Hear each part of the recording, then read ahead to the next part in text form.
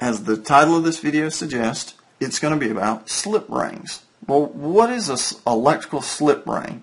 They're in almost every little brushed electric motor you'll ever encounter, and people use them in the context of building like DIY wind turbines or robotics. There's a lot of applications where you need to achieve something so simple, but yet not immediately obvious how to do.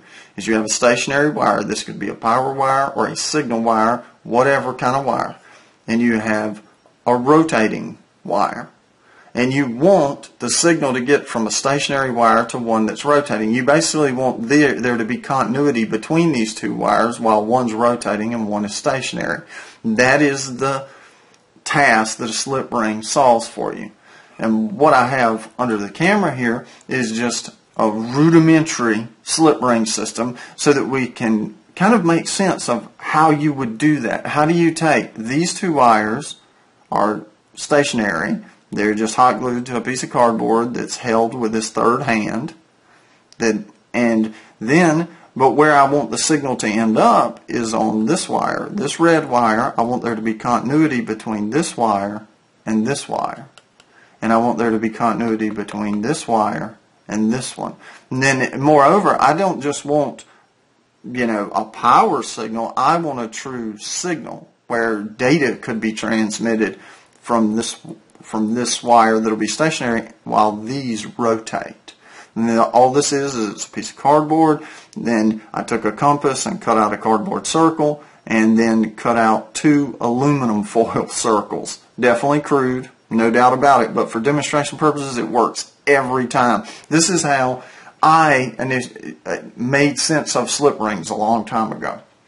And they're used, as I said, in tons of applications from wind turbine construction and home wind turbines to they use them in amusement park rides where rides are rotating but yet the lights are still working and the platform of the ride is stationary but it's tumbling or twisting or doing whatever but the lights are still working. Uh, anytime you see that sort of stuff, you're normally going to have one or two options. You're going to have a slip ring in there or you'll have some sort of magnetic communicative system, a magnetic commuter setup, where the signal or the power is being sent through magnetism. But in this case, this is the most basic, generic, how it got started sort of setup for a slip ring. You have two stationary wires that have their that have been stripped on the ends, and their copper conductor is in a brush formation. It's just brushed out like the end of a paintbrush. And as this disc rotates, those wires will drag across these two conductors, these circular copper aluminum foil conductors. This conductor is connected to the rotating wire, it's soldered. It goes underneath, just under the cardboard, and comes out the other side, right here. And then this wire is just soldered directly to that inner aluminum foil ring. Well, the green wire, the green wire, the green wire is touching this circular conductor that connects to this other green wire. This red wire is dragging along the circular aluminum foil conductor that this red wire is connected to. And what I have running, there is a servo underneath this aluminum, the aluminum foil and cardboard circle. There's a servo that'll turn it real slow in a clockwise direction and it's the servo is being controlled by a simple little Arduino. Then on the Arduino, I'm not only driving the servo, but I'm running the blink without delay code.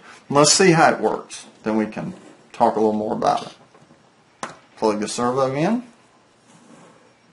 and then plug in the Arduino. And that's how it works. Notice these wires are completely stationary. They're not moving. The third hand's holding them. The Arduino's not moving the power supply for the servo, it's out of screen, but it's just a battery and a 9 volt to 5 volt power supply.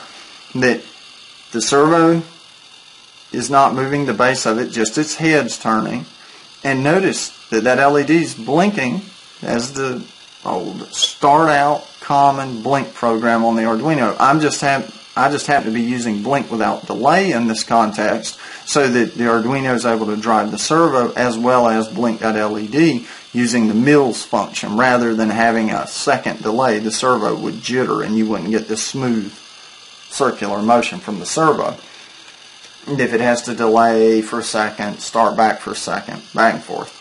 Um, blink without delay, you can look it up. It's in the examples of the Arduino.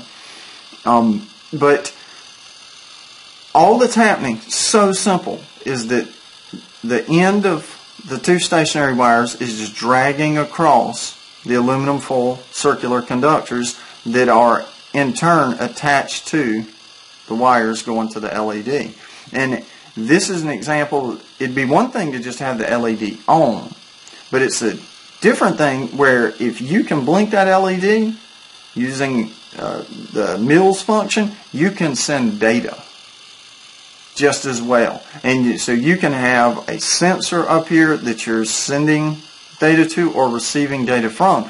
Granted, copper or aluminum foil in a little simple crude setup like this, it wouldn't last that long that the copper and the aluminum foil will wear down eventually. And that's the one downside to any sort of slip ring setup that one could make is that eventually the conductors you, you have to kind of choose them carefully. Aluminum conducts, copper conducts, brass conducts, steel will conduct. And given if it's a certain kind of steel, it will at least. And different alloys will.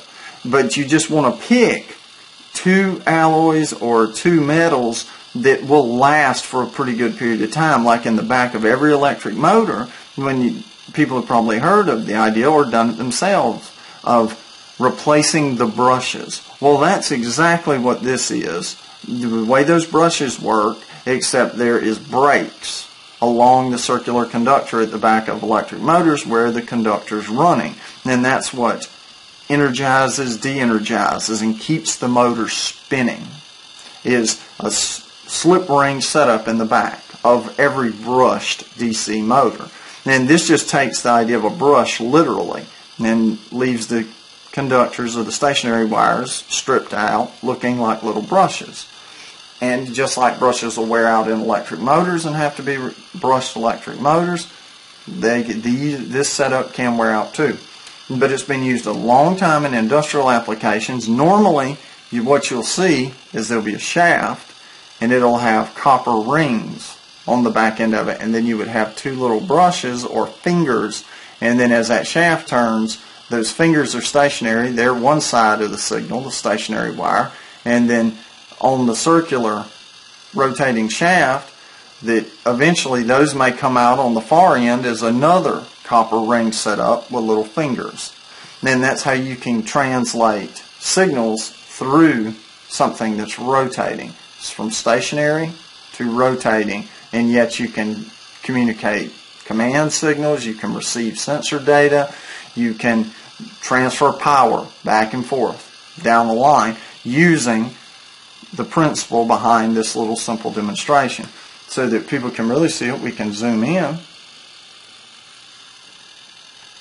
And all that's happening, as we'll move this out just a little bit, is just stripped stationary wire dragging on these aluminum foil rings. That's all there is to it. And that blink without delay, there's no interruption. You may see a little flicker. That's just because, well, I got a little glue on the aluminum foil as I was adhering it to the piece of cardboard.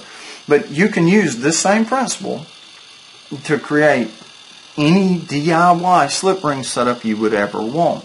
And it will work.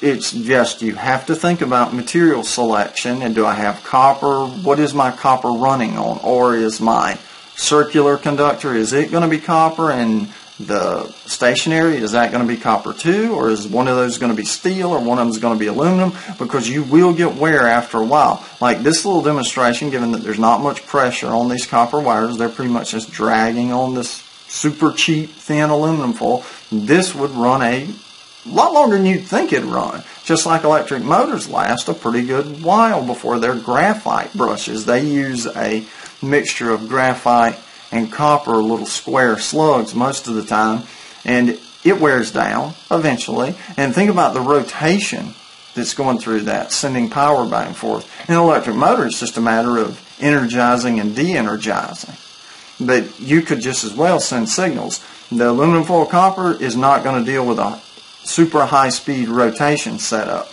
not something wimpy like this. But you can pick stronger conductive, you know, stronger, thicker materials, and you can spin whatever the rotating device is at a fairly fast speed, and it will work. They use it, like I said, in factories and machine works all over the world every day, and have done so for a long time. But a slip ring is a neat solution. We'll zoom back out. To the problem of how do you get a signal from a stationary wire to one that is rotating. That's what this setup will be a solution to. And you can use steel bearings, you can use all kinds of things if people are interested in it. I can make four or five different little demonstrations of how to build various forms of slip ring setup with PVC and copper washers, etc., etc. That the more sophisticated you get, the more difficult it is. And why would one maybe want to do this? Why would they think about building their own slip ring? Well, because slip ring connections are anywhere from $10 to 14 15 up to $200 $300 if it's a high amperage application. They can be really very expensive or they can be cheaper. It just depends on what a person's looking for and what amperage or what sort of signal they're trying to send or receive back and forth across stationary wires to rotating wires. But I hope this video has been helpful. If you liked it, please consider clicking like and also consider subscribing to my channel. Thank you.